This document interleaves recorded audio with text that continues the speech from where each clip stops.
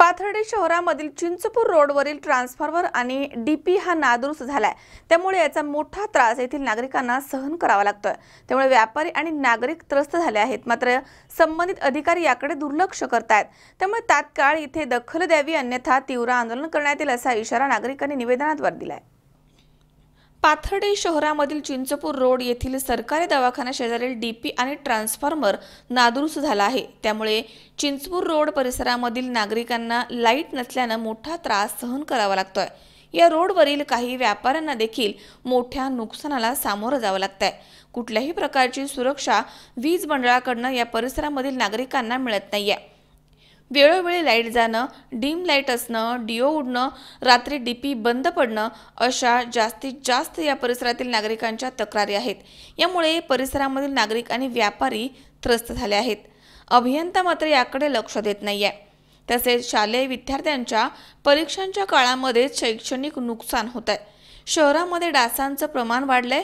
तसेच वीज पुरवठा वेळोवेळी रात्री अपरात्री खंडित होतोय. त्यामुळे साथींच्या आजारांचं प्रमाण वाढलंय. डेंग्यूसारख्या आजारांचं प्रमाण देखील इथे वाढलं आहे. वायरमनशी संपर्क साधला असता त्याने सांगितलंय की सिंग साहेबांनी सांगितल्यानंतरच आम्ही कामं करू आणि फेज टाकू. अभियंता कार्यालयामध्ये भेट दिली असता सिंग साहेबांचा मोबाईल नंबर देण्यात आलाय. तरी काही जीवितहानीचा प्रकार होऊ नये म्हणून फोन केले असता त्यांनी फोन देखील उचलला नाहीये. म्हणून काही वेळ अभियंता कार्यालयामध्ये तणावाचं वातावरण निर्माण झालं होतं. लवकरात लवकर डीपी दुरुस्त न झाल्यास उग्र स्वरूपाचं आंदोलन करू असं निवेदनामध्ये म्हटलं आहे. दरम्यान यावेळी जुनेद पठाण बाळकृष्ण शिरसाट जानी पठाण युनुस शेख महादेव बेलदार आदींसह परिसरामधील नागरिक इथे मोठ्या संख्येनं उपस्थित होते.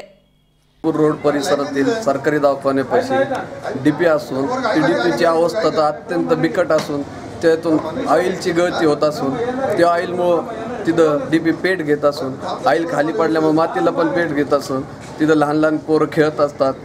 त्या डीपीमुळं कंटिन्यू चिंचपूर रोडच्या लोकांचे फ्यूज जाणं टी व्हीचे ट्यूब जाणं फ्रीज खराब होणं हे सातत्याने चालू असून वीज बोर्डाला वारंवार ताकीद दिली तरी ते डी पी बदलायचा काय मनावर घेत नसून त्याच्यामुळे आज आम्ही सर्व चिंचपूर रोडच्या परिसर लोकांनी उग्र आंदोलन करून मुख्य अभियंताला निवेदन दिलं तसंच तहसीलदार साहेबांना निवेदन दिलं. संबंधित एम एस सी बीचे अधिकारी सिंग साहेब यांना निवेदन दिले असता त्यांनी त्यांचा फोन नंबर दिलेला आहे परंतु त्यांच्या फोन नंबरवरती कॉन्टॅक्ट केले असता ते कधीही सद फोन उचलत नाहीत किंवा त्यांचा फोन बिझी लागतो किंवा स्विच ऑफ असतो.